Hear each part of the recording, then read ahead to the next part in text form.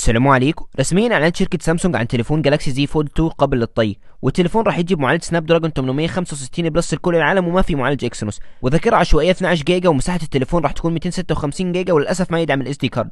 والتليفون راح يجي بشاشه 6.2 إنش للشاشة الخارجية وفيها كاميرا 10 ميجا بكسل وإذا فتحت التليفون راح يكون عندك شاشة 7.6 إنش وفيها كاميرا 10 ميجا بكسل وراح يكون في ثلاث كاميرات خلفية. 12 ميجا بكسل الزاوية العادية و12 ميجا بكسل الزاوية العريضة و12 ميجا بكسل الكاميرا ال telephoto. وراح تقدر تستخدم الكاميرات الخلفية عشان تصور سيلفي والشاشة الخارجية راح تكون نفس كاميرا تشوف فيها نفسك وانت تصور السيلفي. وبطارية التليفون راح تكون 4500 ملي أمبير وتدعم الشحن السريع بقوة 45 واط. بس الشحن اللي يجي بالعلبه 25 واط. ويدعم الشحن اللاسلكي بقوة 10 واط والشحن اللاسلكي العكسي بقوة 9 واط. والتليفون راح يكون فيه بصمة بزر ال power ويدعم ال 5G وشريحتين ويدعم الاي سم والتليفون راح يجي بواجهة أندرويد 10 وواجهة سامسونج الجديدة 1 يو اي 2.5 والتليفون راح يتوفر بس بلونين الأسود والبرونز. وسعر التليفون راح يكون 2000 دولار. إي نعم 2000 دولار. الوكاد إيش رأيكم بالتليفون؟ وايش رأيكم بسعر التليفون؟ وايش رأيكم بالتليفونات القابلة للطي؟ تشوفونها عملية ولا ما منها فايدة. وبس والله في أمان الله.